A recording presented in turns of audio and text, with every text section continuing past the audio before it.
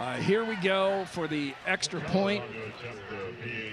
Uh, number 41, Aiden Keller, is a sophomore.